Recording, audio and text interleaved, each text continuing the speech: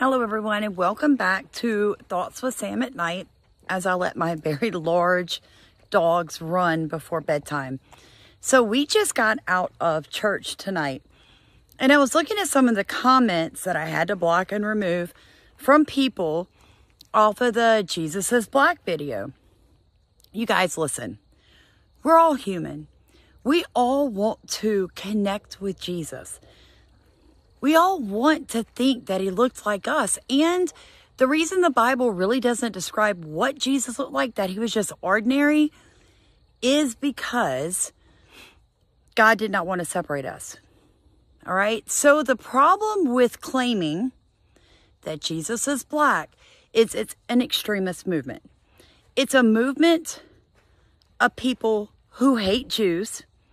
And does that remind you of anybody? give you a second. You got it, Hitler. All right? So, yes, there was a, a period of time in art in the Renaissance period that artists painted Jesus as blonde hair, pale skin, blue eyes. You know, maybe I'm different, but my parents always taught me the truth of Jesus Jesus's genealogy. He was Jew. Like it or not, he was Jew.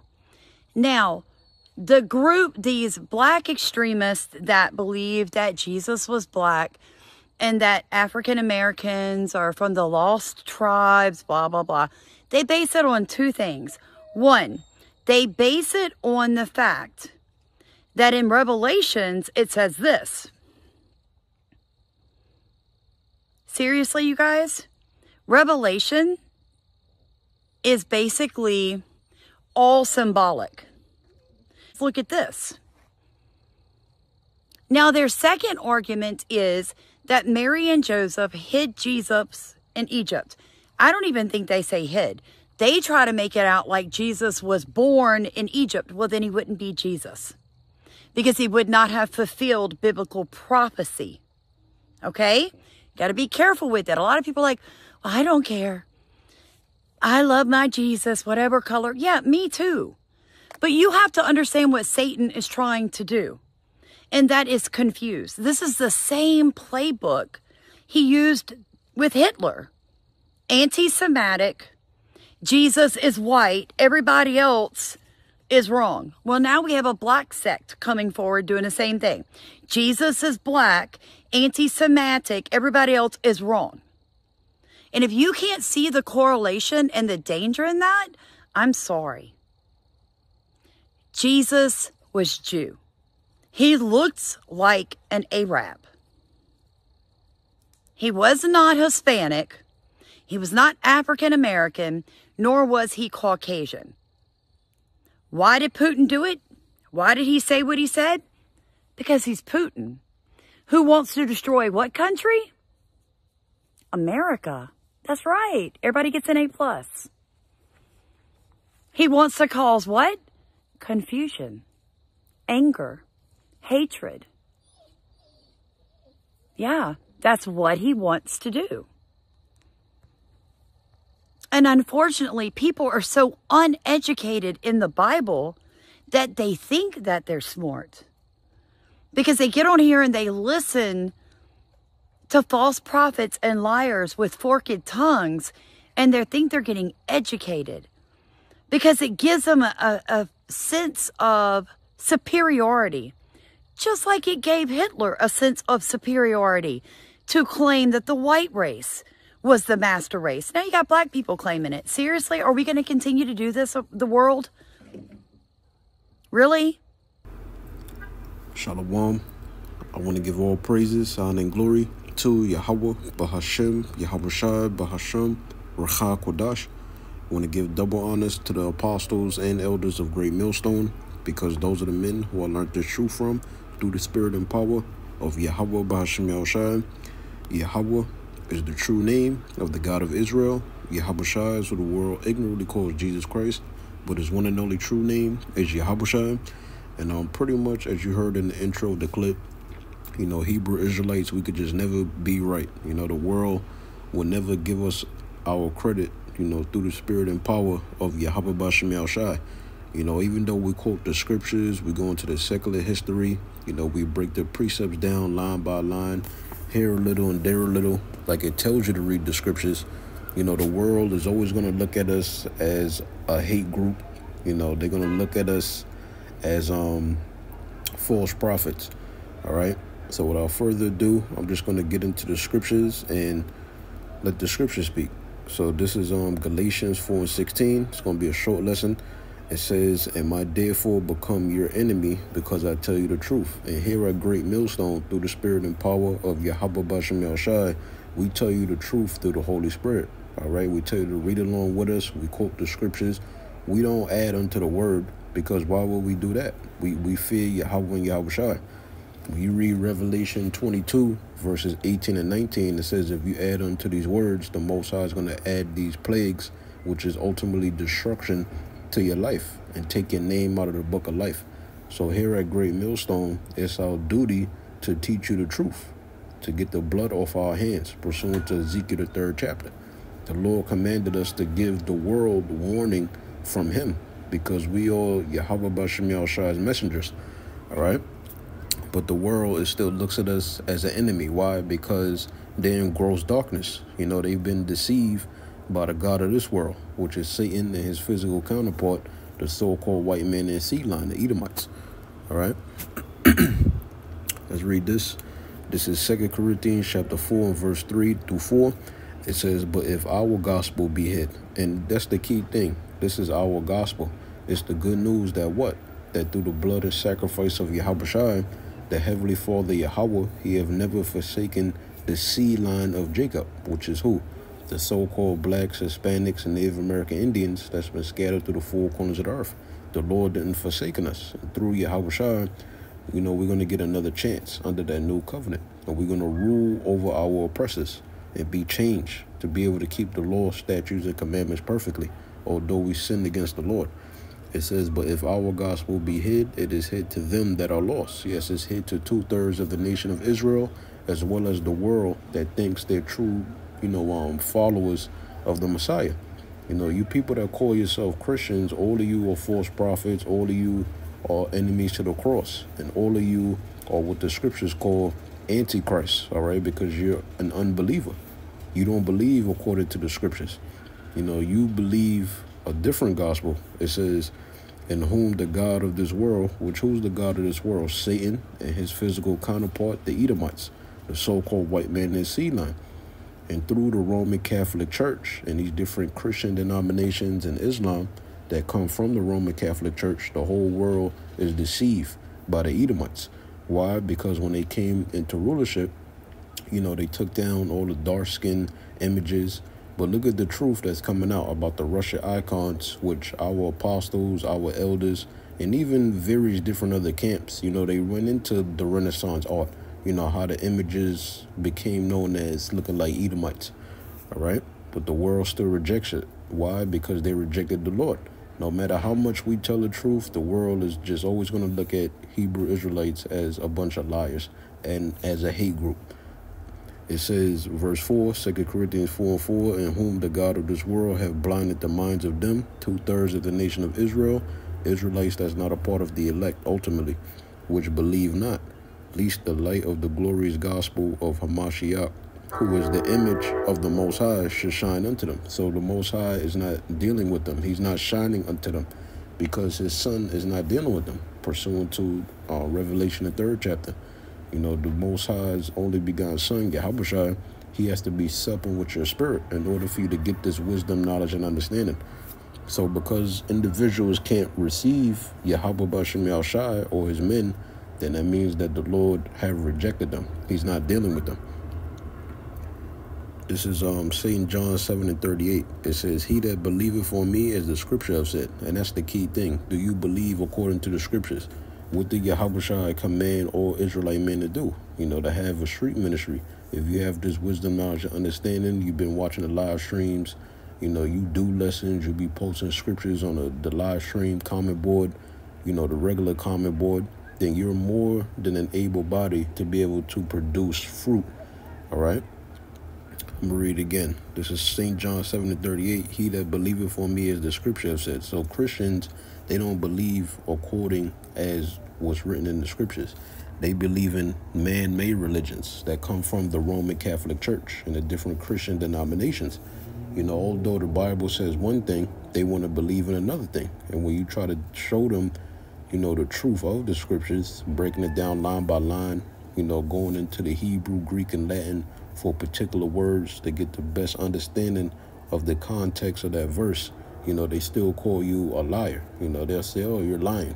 Why? Because that's not what the God of this world teaches, right?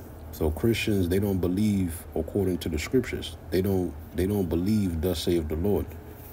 It says out of his belly, meaning his mind, because you have to digest this word. And when you digest this word, it's bitter, right? It's sweet as a honeycomb, you know, the future prophecies, you know, being born an Israelite, but it's bitter to go through the curses of Deuteronomy chapter 28 and to bear your cross as a believer, right? But through Yahweh we will endure to the end, Lord willing. So it says, He that believeth on me, as the scripture have said, right? The Bible, which consists of the Apocrypha, out of his belly, meaning his mind, his spirit, shall flow rivers of living water. And this truth is living water. Because prior to coming into this truth, we was all in the congregation of the dead you know, keeping the customs and believing in all the philosophies of the heathen nations, you know, being blinded by the God of this world, right? You know, believing in the Roman Catholic doctrine, the different Christian denominations, Islam, whatever philosophy or belief system you believed, you know, you was under gross darkness. But now you come into the truth and now you know your true identity.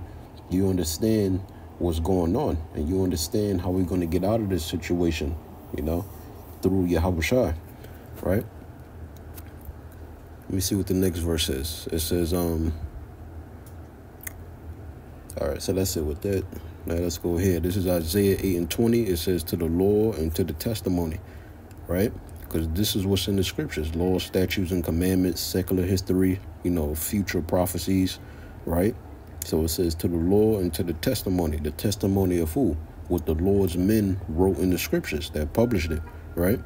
It says to the law and to the testimony, if they speak not according to this word, because Christians don't speak according to this word. Yes, when you read the scriptures, the Messiah is a so-called black man. The Jews are known for being dark skinned. All right, going back to the Hebrew word kodar, which means dark skin. The Jews are known for being dark skinned. All right, that's the Lord's nationality. And when we read the scriptures, we break it down, the world still can't receive it. Why? Because they're blinded. It says to the law and to the testimony if they speak not according to this word, right? If they don't speak according to what the scriptures say. If the scriptures say one thing, but they're teaching something other than what the scriptures are saying, it is because there is no light in them. And ultimately, who's the light? Yahweh So Yahweh is not dealing with the wisdom of this world. He's not dealing with the Roman Catholic Church. He's not dealing with any of the Christian denominations, Islam included. He's not dealing with no man-made religion. He's dealing with what he left us, which is what? The comforter, which is these scriptures. And only the elect of the nation of Israel will be comforted and understand these scriptures through the Holy Spirit. The scriptures say what? To the pure, all things are pure. Pure in what? In the spirit. All right? So now let's read this. this is First John 2 and 18. It says, Little children, it is the last time and as ye have heard that Antichrist, let's go into this word Antichrist, right? Strong's G 500, Antechritos. Antechritos. What does that say? It says the adversary of the Messiah. So another word for Antichrist, as brothers say, you could call them anti-messiahs. All right? If they don't believe what we teach, because what we teach is in the scriptures, right? Then that means that there's no light in them. You know, if they come in with their own doctrine, they're not saying, Thus saith the Lord, then they're an adversary of the Messiah. They're an enemy of the cross. And that's what all Christians are. All Christians are enemies to the cross. All right? So it says, Ye have heard that Antichrist shall come. And it's not just one Antichrist, you know, like how, you know, um, most Christians break down. You know, it's going to be one Antichrist and he's going to, you know, usher out the mark of the beast. No, there's plenty of antichrist. An antichrist is just a non-believer, all right? Or a person that believes in different doctrines other than what's written in the scriptures. any non-believer or any person, even if they say they believe in the scriptures, but they don't believe what we teach through the Holy Spirit, they're an antichrist. All right, false prophets are antichrist as well. So it says, um, shall come even now are there many antichrists. So there's many antichrists, not just one. All right. The scriptures say that um your foes in Matthew the tenth chapter is going to be day of your own household. They're antichrist. All right. That should just give you an example. It says, um, whereby we know that is the last time. Yeah, this is the final time. You know, this is the final time period because Yahweh is getting ready to come back, put an end to all his wickedness. All right. This is St. John 14 to 16. It says, And I will pray the Father, and he shall give you another comforter. All right, another comforter referring to what? These scriptures. These scriptures comfort us. This is what Yahweh left us. And we have this understanding through his blood and sacrifice. It says, Yep, give you another comforter, which is the Bible, that he may abide with you forever. Even the spirit of truth, whom the world cannot receive. So the world can't receive it. You know, obviously you look at the Russian icons, it's clear it's clear as day that the Messiah looked like a, a so-called um, black man. He would look like a so-called Negro today. No haircut, no shape up speaking zero English, not even speaking um, Greek or Latin, speaking the ancient Paleo Hebrew, the Lashon Kodash, right? But the world, they can't receive that though, right? They say that we lean upon our own understanding and we try to make the Messiah look like us. No, the Bible says what it says. That's what you have to, you know, um, base your thesis upon, all right? That's what you have to base your belief on, what's written in the scriptures. So a lot of people don't believe what's written in the scriptures, and they don't even want to read. It says, um, read again, um, St. John 14, 16, and I will pray the Father, and he shall give you another comforter, that he may abide with you forever, even the Spirit of truth, whom the world cannot receive. The world can't receive this. No matter what, we're always going to be looked at as a hate group. We're lying. We're the false prophets, right? It says, because it seeth him not, neither knoweth him, but ye know him, the elect of the nation of Israel know Yahweh Bashem and his truth. We can't be deceived, right? But the world is deceived. That's why they can't receive us.